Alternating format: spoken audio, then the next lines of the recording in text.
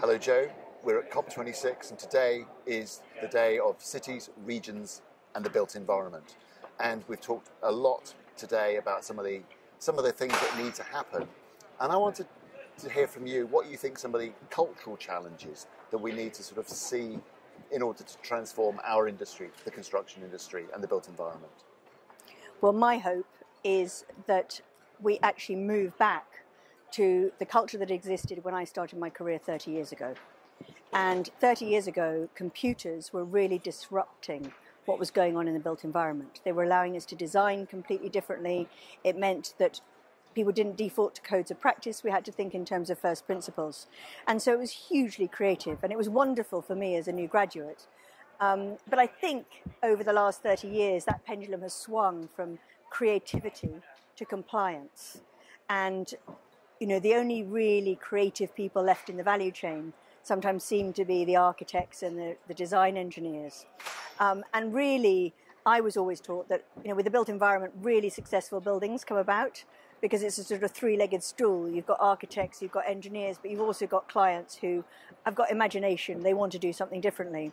And so I feel that there's actually something really exciting going on here and that we're moving into a new era of design where the engineers are really central to it because they're the problem solvers, but we can only work with people who are further up the value chain who, who want us to, to find those solutions.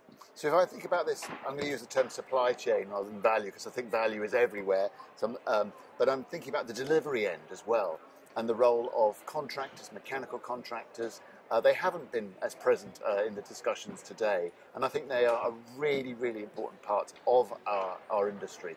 And do you think there's a transformation in terms of just more of a cohesive uh, unit that we need to be operating in order to achieve the change that we need? Yeah, no, absolutely. I mean, I think the, one of the real problems at the moment is if you think about that supply chain for a building, starting with the investor and the developer, going through the design team, the contractors, the material suppliers, you know, the, the small contractors who are on site. That's a very, very stretched out chain, and it's got these awful disconnects along the way in terms of procurement. But actually, where I see that we'll have to get to is that that sort of concertinaing and becoming becoming much more tighter. And you know, the example I refer to is that you know back in the late 80s, early 90s, I wanted to design a building in timber, and no one really designed buildings in timber in the UK then. It was steel or concrete. Luckily, I found someone in Arup who knew about timber, and he sat me down and he said, "Now, timber, Jo, is very different."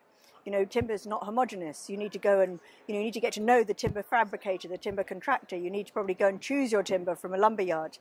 And there was that sort of craftsmanship element of it, and you had to really understand your material. And so I designed that building, I designed it in timber. By the time it was finished, by the time the design was finished, I knew where the wood was coming from. I knew the contractor who was going to build it.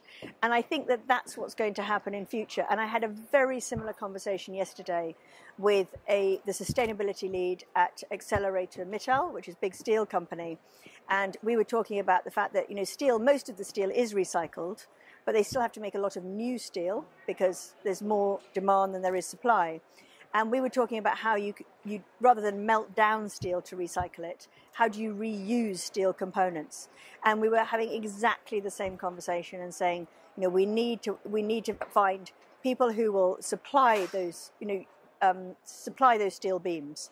You know, you know, t- um, sort of steel yards that will accept secondhand steel, yeah. um, and and then that, you know, that's how we can set a new.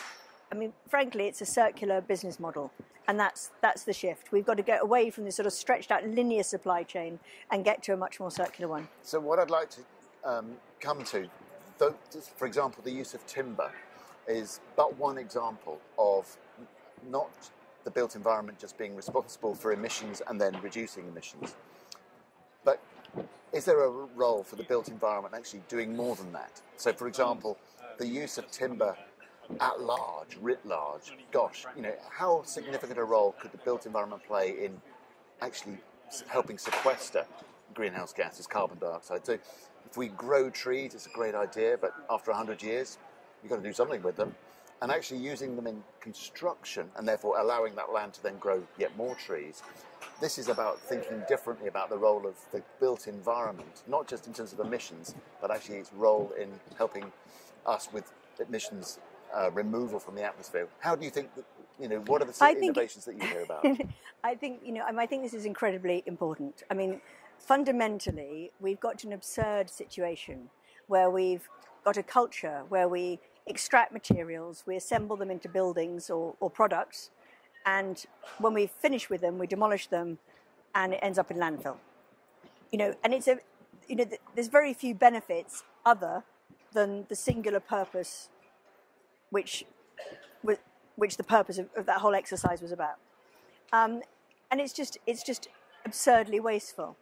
And so, what I see in the future is that we will be thinking about buildings much more as repositories of materials. And so, building components will have material passports. And by that, what I mean is like a QR code, so that every single bit of the building, you know what it is and you know, where it came from. And you know, we've actually done an experiment on this um, with the Dutch Pavilion um, in Europe. And what we set out to do was to build a building that could be completely um, dismantled, you know, after a period of time, and all the products returned to the manufacturer. And so that meant no screws, no glue. All the connection designs had to be completely different. But as soon as we worked out the problem we were trying to solve, of course, several weeks later, it was solved. And we sourced all the materials, and you know the building went up, and it was up for two months, and then it came down, and the, mat- everything went back, slightly second-hand, a little bit battered, but you know no holes in it or or anything.